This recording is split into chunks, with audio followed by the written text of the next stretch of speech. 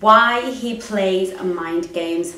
Hello, my name is Chengi of Chengi's World. I am, of course, like I said, Chengi, and you, you, you, my precious one, are my world. Don't forget to subscribe, like, and share, and comment if you're part of this amazing tribe of women that I adore. Okay, and my job here today is to teach you how to present, how to show up in the world as a high value, high status, high worth woman that men find completely irresistible. If you're up for that, put your hand up and say yes in the comment section because that's what we're going to be doing today. So, why does he play mind games?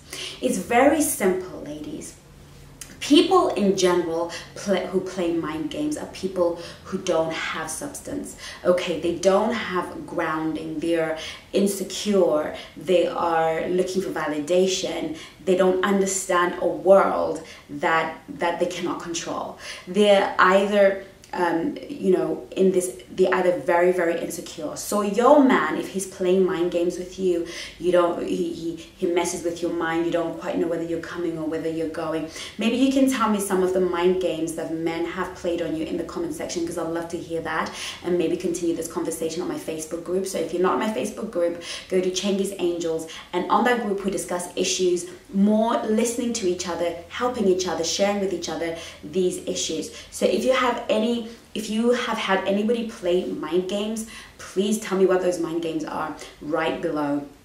Mind games like uh, you know saying one thing but meaning another uh, making you feel uh, insecure in one way shape or form. So that number one is insecurity on his part. He's insecure and so he is seeking to put you and destabilize you because he's insecure and he wants you insecure because he understands that if you're insecure, he can maneuver and manipulate.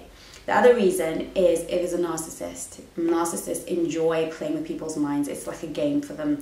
Or if they're sociopaths, it's so that you constantly put all the attention on them, give them the love, give them the cherishing, giving them the respect, and then having to give you nothing because you are not worthy or you are not very smart so that is the second reason that somebody would play games with you.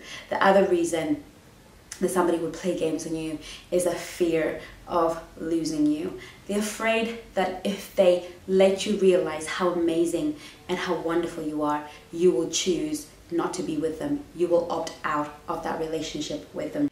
And if somebody is afraid, then they will try and use games in order to control. Again, it's the same principle as control.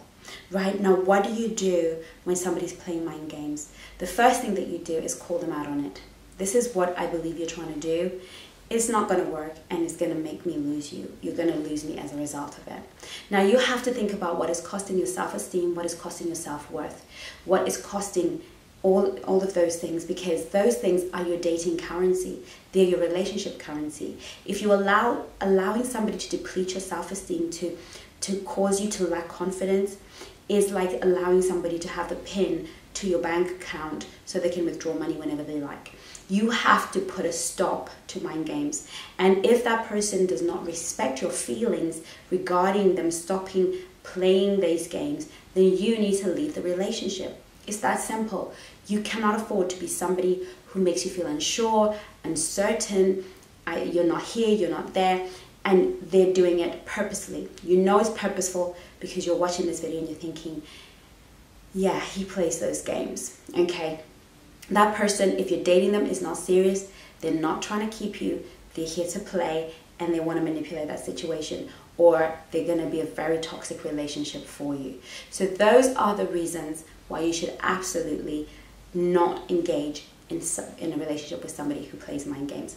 I certainly hope that was helpful. Make sure you download my free guide that I've been working on forever and all for free for you, my beautiful people, that you will download it and when you do that, you will be able to um, get access to that information and really begin to work on how to become high value, high status, high worth in every way, shape, or form. So thank you so much for watching. It's so good to see you again. I'll see you in my next video. In the meantime, take care of you.